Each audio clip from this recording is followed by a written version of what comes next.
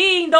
Seja muito bem-vindo e muito bem-vinda a mais um episódio 2 da nossa Academia de Páscoa. Semana essa muito abençoada que a gente está trazendo várias dicas para você poder pintar no tecido. Se você não me conhecia, é muito prazer, eu sou a Taninha Ávila. Será um prazer imenso ter você inscrito no nosso canal. Então, não perca tempo, já se inscreva, ativa o sininho, corre lá no Instagram e nos siga nas nossas redes sociais, que é arroba o meu perfil de pintura, arroba Bestfrenda, o nosso perfil pessoal, onde eu compartilho maternidade artesanato e o meu dia a dia aqui nos Estados Unidos. Convido você também a correr no nosso site, que é www.taninhaavila.com.br e adquirir a nossa apostila de Páscoa, onde eu preparei muitos moldes com muito carinho para você poder desenvolver todas as técnicas que eu vou ensinar aqui no canal. Já te agradeço imensamente se você deixar nos comentários o que, que você tá achando do nosso curso, o que, que você tá achando dessa semana. E agora que você já foi tão legal, já deixou o like, já se inscreveu no canal, já deixou um comentário bem legal pra gente, agora a gente pode ir lá fazer essa aula maravilhosa. Então, pessoal, esse é o projeto que tá na nossa apostila, o nosso ursinho carregando as cenouras. E no ano passado, quando eu fiz essa apostila, ele foi pintado nessas cores, dessa maneira, porque ele estava casando com esse barrado que foi feito na ocasião.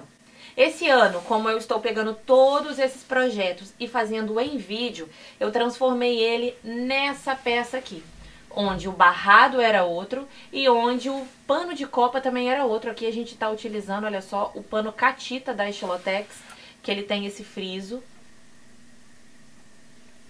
Tá vendo? Ele tem esse detalhe maravilhoso e essa faixa para pintar que é muito lisinha. Eu ensinei a fazer esse fundo, esse céu, ensinei a fazer o chão. O link para você aprender a fazer esse fundo e esse chãozinho, eu vou deixar aqui no card e vou deixar também o link na descrição, é o episódio 1 da nossa Academia de Páscoa. E agora a gente vai pegar firme pintando essa coisa linda que é esse coelhinho. Aconteceu um pequeno imprevisto aqui, que eu tenho pouca memória no cartão, então conforme eu gravei o episódio 1, apaguei para continuar gravando essa aula, eu apaguei, gente, sem querer, a aula onde eu fiz o preenchimento do macacão.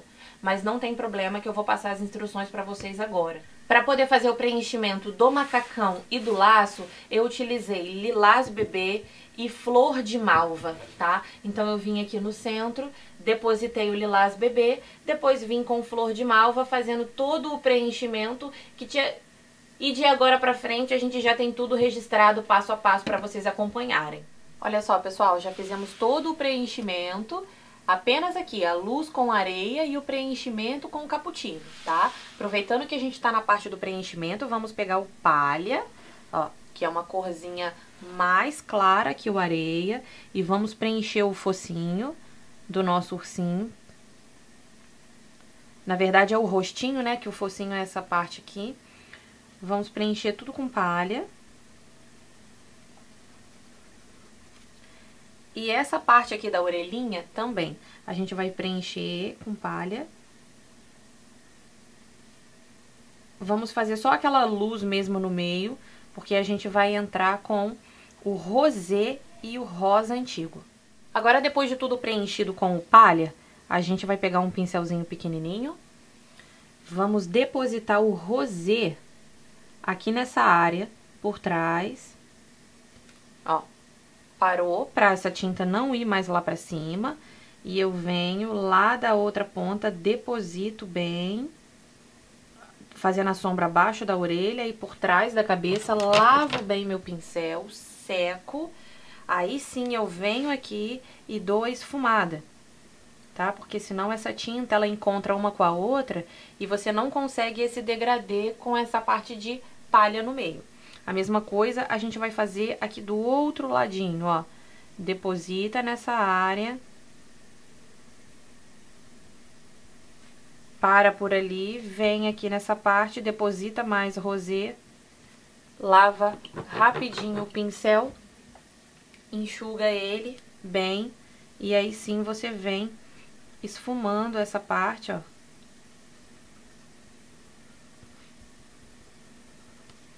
Para poder fazer o efeito da orelhinha. Aproveitando que eu estou aqui com o rosé, eu vou botar um pinguinho de rosé na ponta do focinho, Como o focinho tá muito pequenininho, gente, eu vou pegar o meu pincel filete, vou pegar o marrom e vou vir fazendo essa junção de marrom com rosé para o focinho ficar mais iluminado da ponta. Na hora que eu jogar o branco para iluminar, ele vai ressaltar ainda mais. Tá? Então, eu faço contorno, mas aqui nessa parte superior a gente percebe que tem um iluminado de rosé. Ó. Olha lá.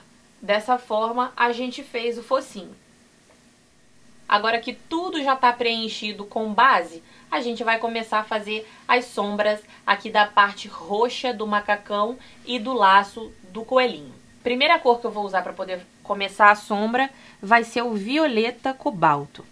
Olha só, aqui está a alça do macacão.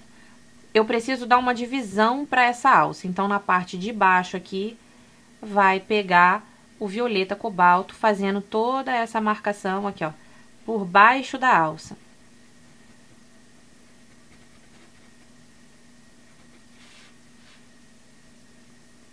Repara que ela dá uma ressaltada, correto? Nessa aqui a gente vai fazer a mesma coisa.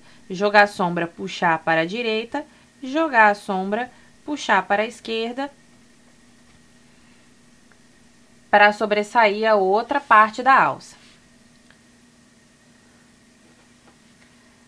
Vamos jogar a sombra por baixo aqui do bolso, porque o bolso tá dando sombra e a gente precisa intensificar aqui essa área.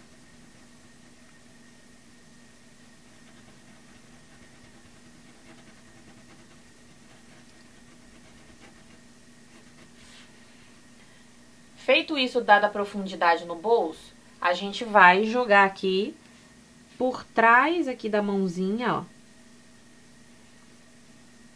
E puxando pra baixo, que aqui a gente tá dando a profundidade ali de trás, que o bracinho está por baixo dessa parte. Por cima, né? E aí a gente dá a profundidade aqui também. Aqui por trás, que a cabecinha tá em cima, e aqui puxa pra baixo Tá vendo que é esquinha de nada? Porque esse molde ele tá muito pequeno, numa faixa pequena, então é detalhe muito pequeno. Senão acaba que vocês...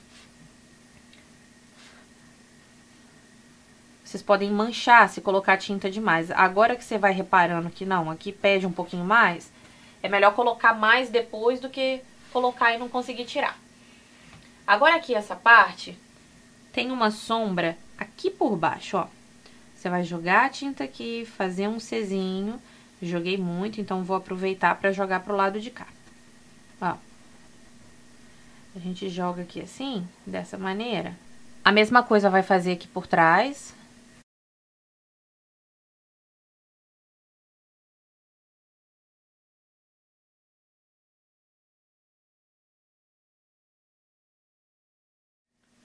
Depois que a gente fez toda a sombra que vocês acompanharam aí, ó, colocando o violeta, descendo, colocando, fazendo esse esfumado, depositando aqui, puxando para baixo, aqui puxando para baixo. Depois que a gente fez tudo isso, a gente vai dar uma intensificada de berinjela, mas antes de intensificar de berinjela, a gente vai dar a intensificada, a gente vai dar a intensificada com o rosa antigo, que a gente colocou primeiro o rosé, Agora a gente vai colocar uma esquinha de nada de rosa antigo aqui nessa parte pra vocês verem a diferença. Olha lá, tá vendo?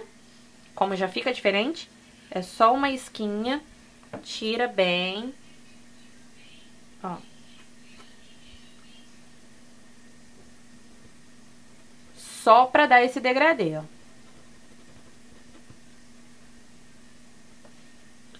Mesma coisa aqui e aqui.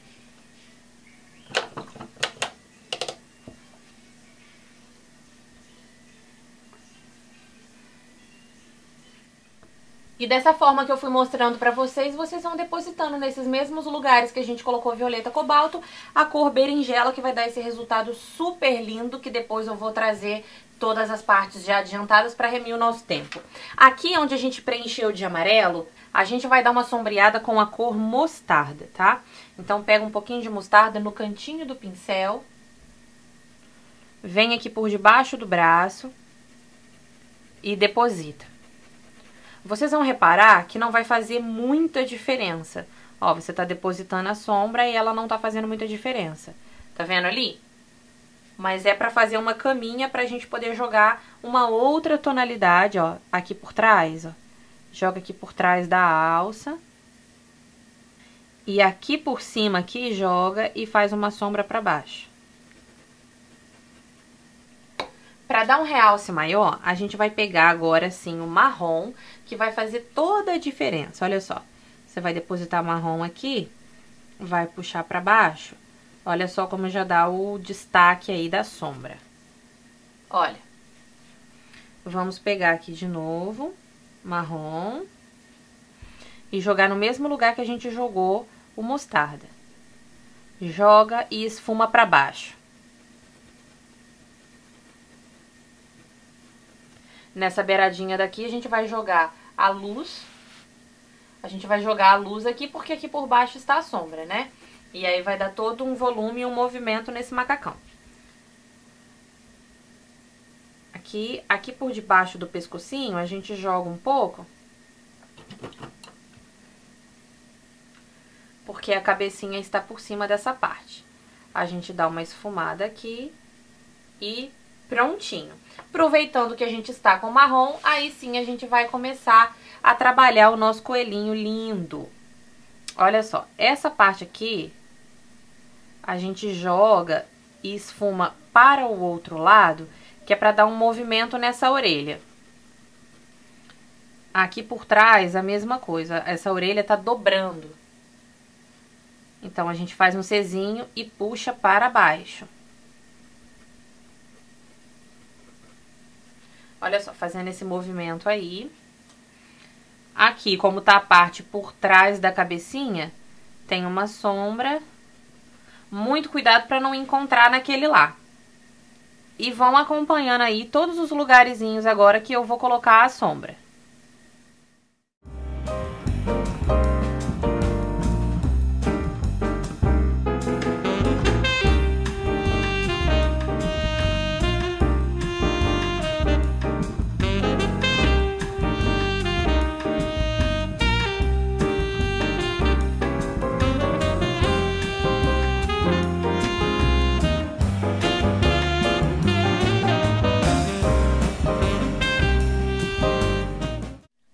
Agora que a gente já fez toda a parte das sombras e vocês conseguiram acompanhar aí comigo as posições, para onde eu joguei a tinta e para onde eu esfumei, a gente vai pegar o marronzinho e vamos jogar aqui um pouquinho por baixo do nariz, tá? A gente joga por baixo aqui do focinho, dá uma puxadinha e simula uma sombra para poder depois pegar o contorno que vai vir puxando a boquinha. Já que a gente tá aqui no focinho, a gente pega aqui um pouquinho do rústico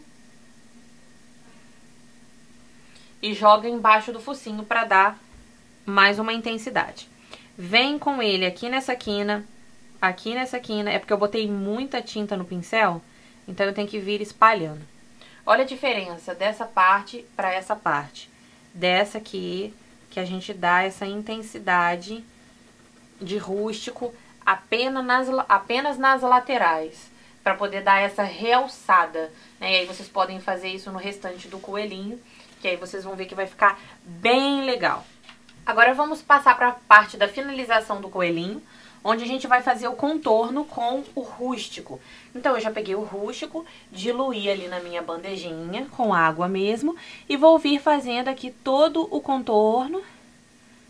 Olha só como já vai dando aquele destaque porventura aquela traminha que não preencheu, você já vem com o pincel filete, ó.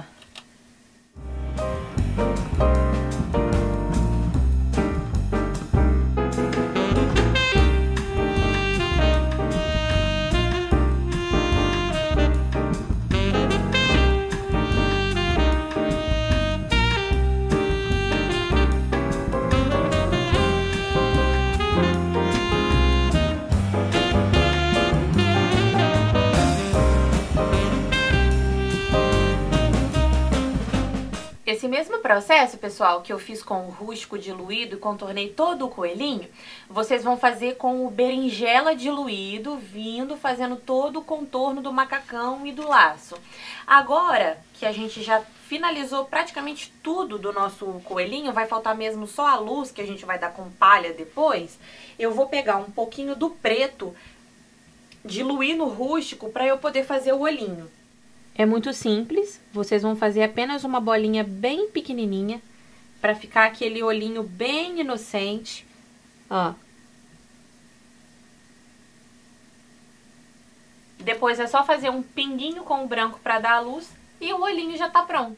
Olha só, pessoal, então o nosso coelhinho já tá todo contornado, a roupinha, o laço. E eu vou dar a luz aqui agora junto com vocês. Eu peguei um pouquinho do branco meu pincel filete, porque o narizinho tá bem pequenininho. Então, eu vou dar só uma pontinha de luz ali no meio. Vou dar uma esfumadinha, lavei o pincel, sequei. Vou dar uma esfumada, porque esse branco não pode ficar aqui muito concentrado. A gente tem que dar uma esfumadinha nele. Acabou que aconteceu o quê? Meu Deus, espalhou o branco inteiro. É o que eu sempre falo pra vocês. A gente acha que tem pouca tinta no pincel e tem muita. Então, o que, que a gente faz nesse caso aqui? Enquanto a tinta ainda está úmida, porque depois que o branco secar já era, ó. A gente vem com o marrom, fazendo um degradê de baixo para cima, e aí sim, agora a luz tá só na pontinha aqui, ó. Aproveitando que a gente já contornou tudo, vamos finalizar o nosso coelhinho todinho, gente, eu tô pegando aqui a cor palha, onde eu vou dar luz pra vocês poderem ver a diferença que faz, ó. Como ele ficou bem escuro, a gente vem, deposita o palha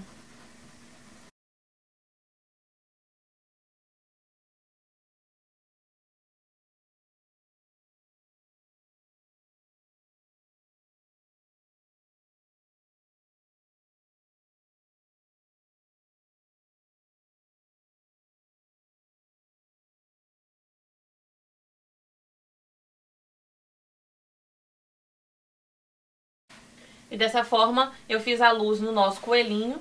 Aqui, pessoal, a gente já usa o branquinho para poder fazer a luz. Vou fazer só nessa parte aqui.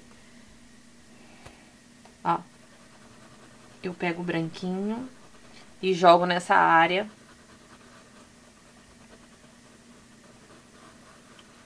Pra dar iluminada, olha só como ele já pula. Já dá já dá aquele volume na barriguinha do nosso coelhinho. A mesma coisa vocês vão fazer... A mesma coisa vocês podem fazer aqui no laço, ó, essa parte aqui tem mais luz, né? Olha lá. Aqui a gente jogou a sombra, né? Então, ó, aqui no meio joga uma luz pra dar um volume. E dessa forma vocês vão marcando e fazendo a luz na peça. Vamos agora pegar preenchendo e fazendo a sombra das cenouras. Bora lá então as cores que vocês vão precisar.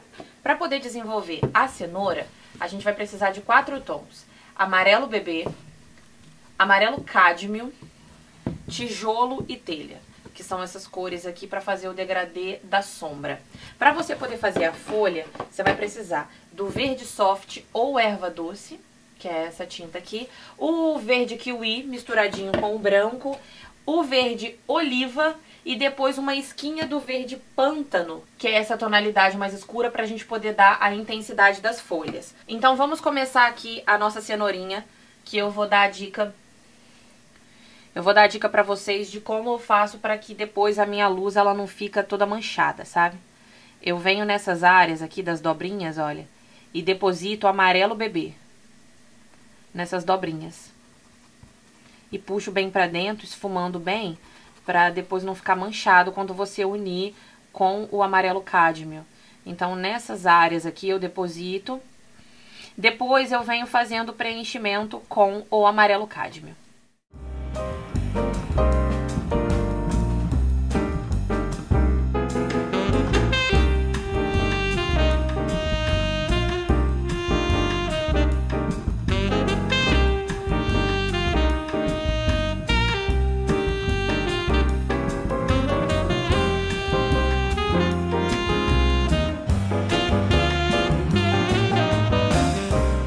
Todo esse processo de preenchimento das cenouras, agora a gente vai fazer a parte das folhas.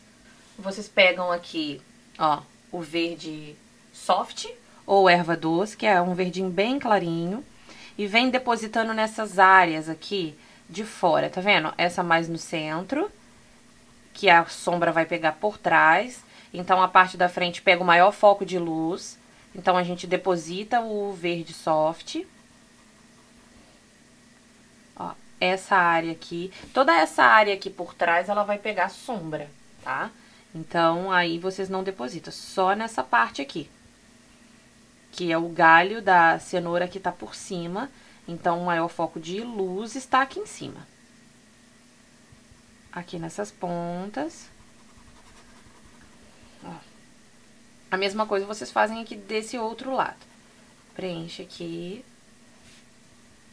Só pra na hora que você depositar o verde kiwi, ele não pegue diretamente na trama do tecido.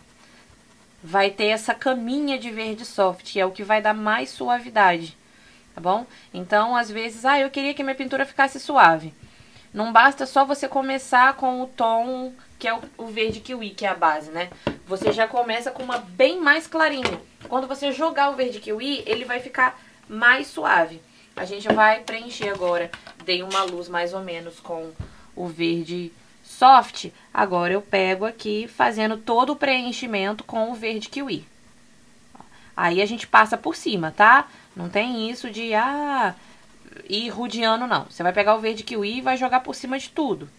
Mas só que na hora que ele entrar em contato com o verde soft, como o verde soft já selou a trama, vai ficar mais suave. Olha só. Tá vendo? Não fica aquela coisa... Dá um, um, dá um degradê legal apenas no preenchimento. Eu gosto de fazer assim. Como as pessoas perguntam como eu faço, eu mostro como eu faço.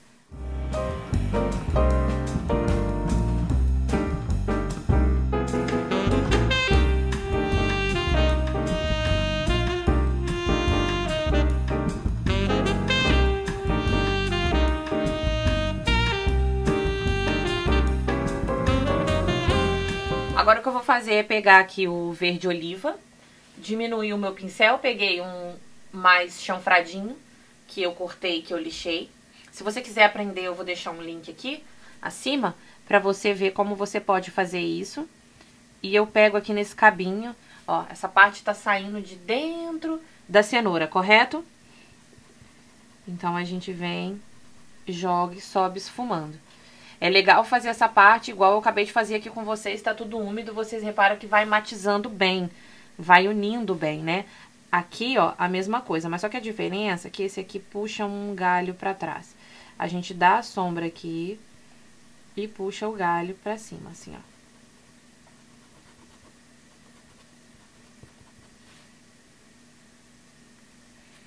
E aí, vamos aqui nessa parte, como eu disse pra vocês, ó, joga aqui e sobe. Vem subindo com essa tinta, porque aí essa parte ela vai ficar em evidência.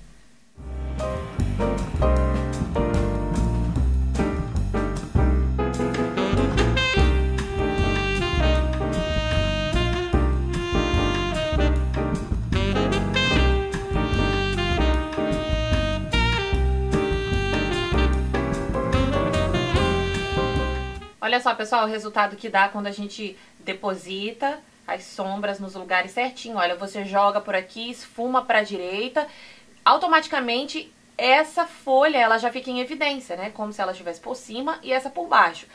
Em todos esses lugares que a gente depositou o verde oliva e fizemos essa sombra, a gente vai depositar agora o verde pântano, que é ele que vai dar aquele realce mesmo, olha só, realmente as cores vão saltar. Essa parte aqui, ó, que tá dividindo um cabinho do outro, a gente precisa colocar, olha só, o verde pântano que ele vai dar todo o destaque.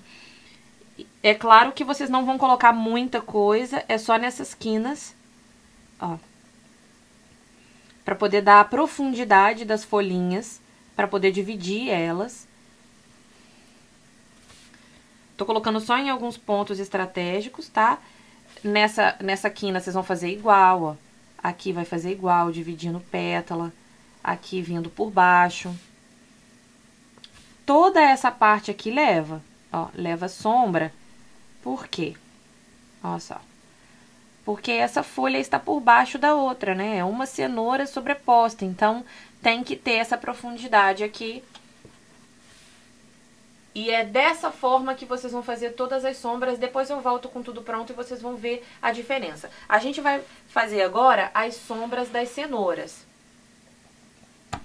A gente já fez toda a base, o preenchimento. Agora a gente vai vir com a cor tijolo, começando a dar as sombras aqui na cenoura. Se você não tem a cor tijolo, você pode estar substituindo por caramelo. E se você não tem a cor telha, você pode estar substituindo por cerâmica. O cerâmica, lembrando que não é o mesmo tom do telha. O cerâmica ele é ainda mais escuro, tá? Mas considerando que você não tem, não tem na sua cidade para poder comprar, tenta adaptar com o que você tem aí. Ó, a gente dá a sombra lá por trás, faz um Czinho, né? É a volta da onde está saindo ali o cabo da cenoura. E nesses Czinhos que vão fazendo, né? Essas dobrinhas que tem na cenourinha, ó, vocês vão jogando aqui, puxando para baixo. Lembrando que do mesmo, da mesma forma que essas folhas estão por baixo, essa cenoura aqui, ela está por baixo dessa. Então, toda essa parte, ela leva sombra.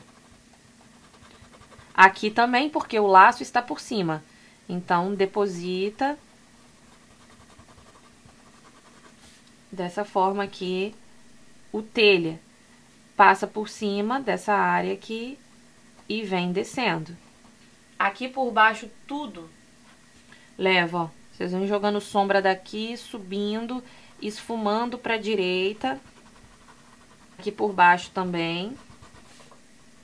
Ó. E dessa forma vocês vão fazendo a sombra. Aqui é um Czinho que vai pra cima e outro pra baixo. Aqui é um Czinho que vai pra cima e outro que vem pra baixo. Aqui a gente tá só marcando, tá, pessoal? Ó, aqui também pra cima e pra baixo, sobe. Joga aqui pra baixo, desce aqui desce.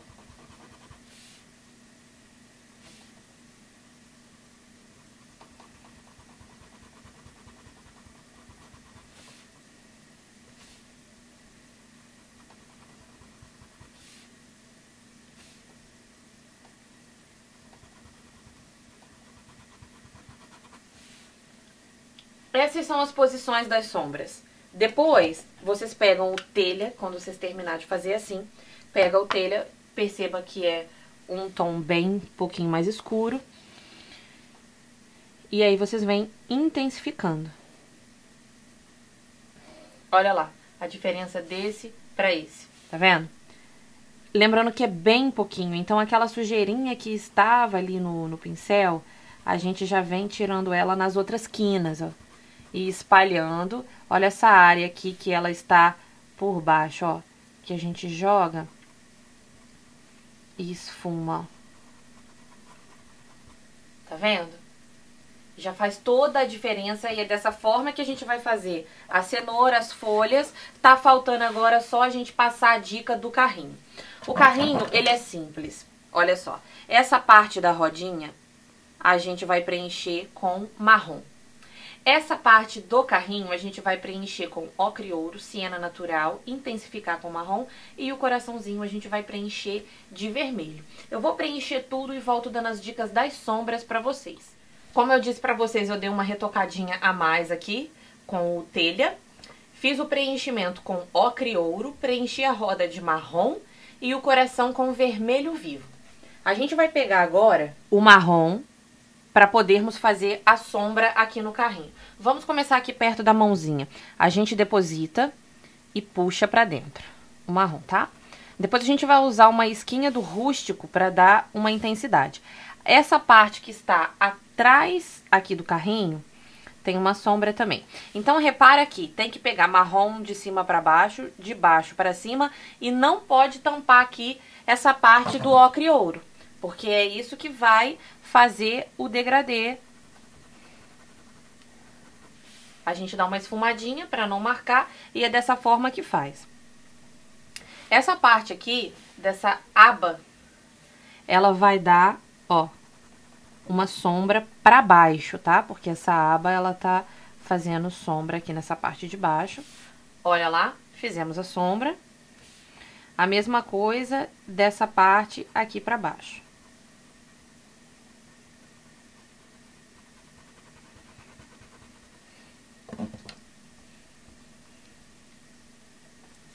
Para não marcar, lava bem o pincel, tira o excesso da água dele, porque se você vir com o pincel com muita água, isso aqui vai manchar tudo, vai ficar horrível.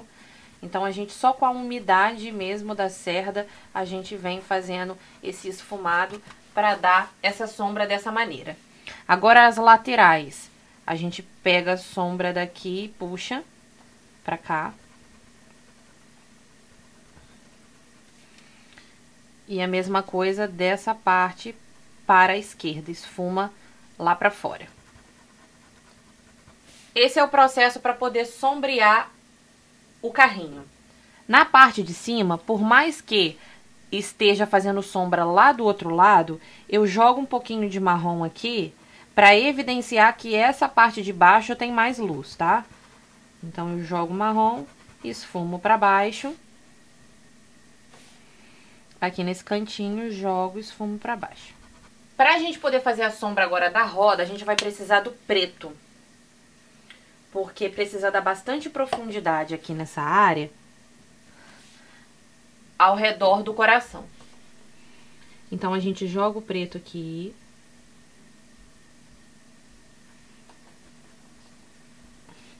Tira um pouco do excesso do pincel, né? Na lateral, olha só como tem tinta, olha. Porque senão isso aqui vai estendendo toda a vida, vai cobrir o marrom inteiro. E não é isso que a gente quer. Ó. Fez isso aqui, lava bem o pincel. Tira bastante o excesso, principalmente quando você tá lidando com cor escura, preto. Tem que ter muito cuidado, porque senão você acaba manchando as peças.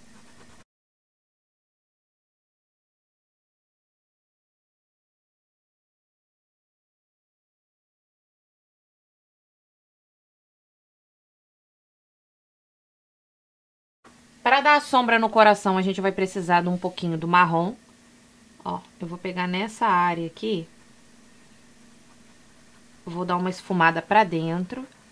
Pra dar uma profundidade aqui nessa aba aqui do coração. E eu vou pegar um pouquinho do palha. E vou dar a luz aqui nessa ponta, ó.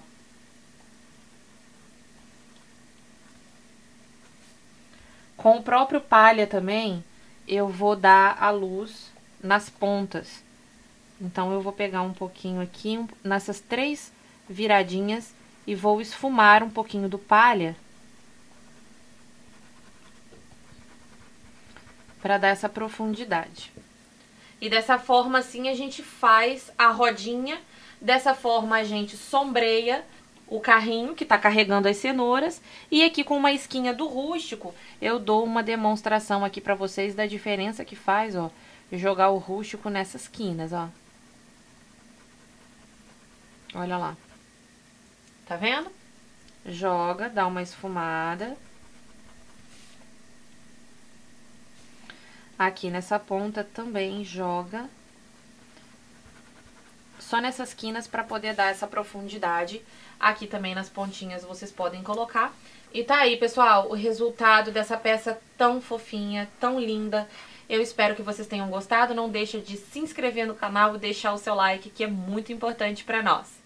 Obrigada de coração por ter assistido o nosso vídeo. Não se esqueça de se inscrever, ativar o sininho, correr nas redes sociais e nos seguir em todas elas, para que você não perca nenhuma novidade. Tudo eu posto em primeira mão lá para vocês. Não perca que amanhã a gente tem mais uma aula incrível esperando por você.